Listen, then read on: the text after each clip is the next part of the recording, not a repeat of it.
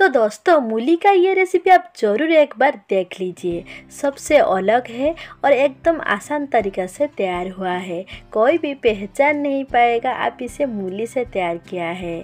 तो पहले तो मूली का छिलका को मैंने उतार लिया था। अभी मैं इसे इस तरह से बड़ा बड़ा पीसेस में ना कट कर लूँगी।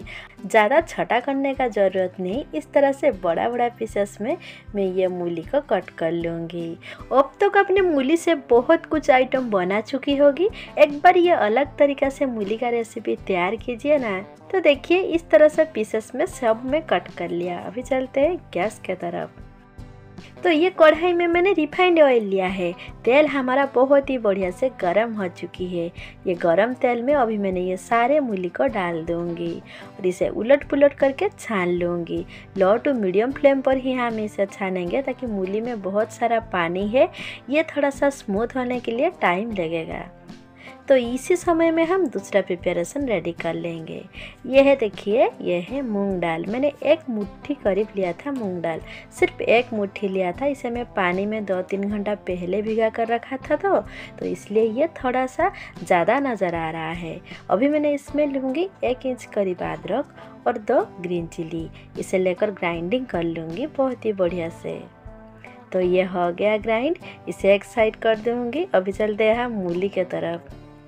यहाँ पर देखिए, मूली हमारा बहुत ही बढ़िया से सुनहरा हो गया है और ये देखिए, ये अच्छी तरह से बॉयल भी हो चुकी है। अभी मैं ये सारे मूली को छान लूँगी। तो दोस्तों, यदि आपको मेरा आज का रेसिपी अच्छा लगे, नीचे एक लाइक का बटन है, इसे ज़रूर दबा देना ताकि मुझे पता चल जाएगा आपको मेरा रेसिपी अच्छा लगा कि नहीं। नहीं तो आप डिसलाइक भी कर सकती है। जो भी है, एक कर दीजिए ना ज़रूर।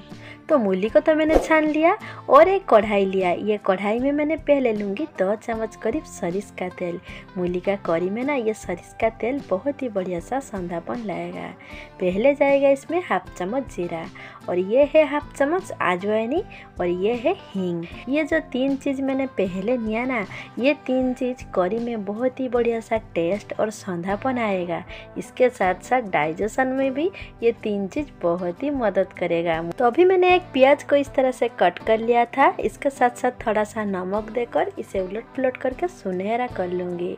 नमक लेने से प्याज बहुत जल्दी सॉफ्ट हो जाती है तो इसलिए मैंने पहले नमक लिया। अभी देखिए प्याज का कलर चेंज हो गया है। यहाँ पर कुछ मसाला जाएगा।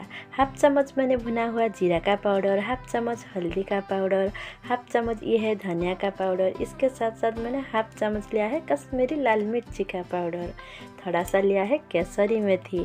केसरी मेथी से बहुत ही बढ़िया सा टेस्ट आती है। और एक टमाटर को मैंने कट करके भी लिया है। तो इतना ही मसाला जाएगा, ये सभी को मिक्स कर दूँगी।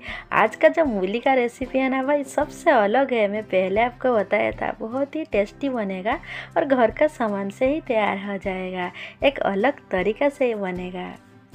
तो ये सब मसाला को मिक्स करने के बाद मैं जो मूंग दाल का पेस्ट तैयार करके रखा था ना, ये पेस्ट को डाल दूँगी। और ये जितना मूंग दाल है, इसका दोगुना मैं पानी लूँगी, ताकि मूंग दाल को मैंने ग्राइंडिंग कर लिया। अभी ये जब बॉयल होगा, इसका कंसिस्टेंसी गाढ़ा हो जाएगा। तो पानी यहाँ पर ज़्यादा लेना ज़रूरी है। मूँग दाल का दोगुना पानी मैंने लिया है। इस तरह से मिक्स करके लो टू मीडियम फ्लेम पर इसे ढक्कन देकर छोड़ दूँगी। और बीच बीच में इसे चेक करना भी चाहिए। इसी समय पे हम और एक प्रिपरेशन कर लेंगे। अभी हम जो मूली को छान कर रखा था ना, ये ठंडा हो चुकी है। मैंने इस तरह से एक मैसर लिया है। ये मैसर की मदद से इसे अच्छी तरह से मैस कर लूँगी। तो देखिए, ये बहुत ही बढ़िया से मैस हो गया है। अभी मैंने स्वाद के अनुसार लूँगी नमक। मैंने पहले तो नमक नहीं लिया था। हाफ़ चम्मच हल्दी का पाउडर। हाफ़ चम्मच भुना हुआ जीरा का पाउडर, हाफ़ चम्मच धनिया का पाउडर और कुछ साथ में धनिया का पत्तिया भी लिया है। और ये देखिए, ये जो छोटा स्पून में ना, मैंने तीन स्पून लूँगी बेसन और ये छोटा स्पून में मैंने दो स्पून लूँगी सूजी। सूजी दाना मैंने इसीलिए लिया है ताकि ये जो मूली है ना, इसमें बहुत मस्चर है। ये जो सूजी दाना मैंने दो चम्मच लिया है, इसका मस्चर ख़त्म हो जाएगा।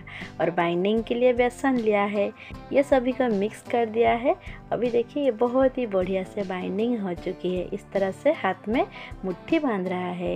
इस तरह से गलमल से बड़ा साइज़ से मैं तैयार कर लूँगी। ये बोरा को ना मैंने पेन में बहुत ही कम तेल लेकर इसे उलट पुलट करके सुनहरा करके निकाल लूँगी। ढक्कन देने का ज़रूरत नहीं, बस मीडियम और हाई फ्लेम पर इसे उलट पुलट करके सुनहरा करके छान लेंगे। क्योंकि मूली को पहले तो मैंने छान लिया था, ये तो बिल्कुल बॉयल हो चुकी है ना। मूली बहुत सारा लोग को पसंद नहीं है, क्योंकि मूली खाने में थोड़ा सा कड़वी लगती है। तो पहले जब मूली को मैंने छान लिया ना, मूली बिल्कुल भी कड़वी नहीं लगेगा। और अभी मैं इसे इस तरह से थोड़ा सा सूजी और जो बेसन देकर ये जो बड़ा साइज़ से तैयार कर लिया, कोई पहचान नहीं पाएगा भाई, आप इसे मूली से तैयार किया है। इस तरह से ये बड़ा खाने में बहुत ही टेस्टी लगेगा। तो देखिए, दोनों तरफ़ को मैंने सुनहरा कर लिया है। इसे निकाल लूँगी और मेरे पास जितना भी है, इस तरह से तैयार कर लूँगी। अभी हम ये मूंग दाल का कौड़ी को चेक कर लेंगे। ये देखिए, मूंग दाल का कड़ी बहुत ही बढ़िया से गाढ़ा हो चुकी है। मैंने पहले आपको बताया था ना तो इसलिए मैंने थोड़ा सा ज़्यादा पानी लिया था। तो अभी इसमें एक तड़का जाएगा। तो ये खलबटा में पहले मैंने आठ दस लहसुन का कलिया लिया है, दो ग्रीन चिली।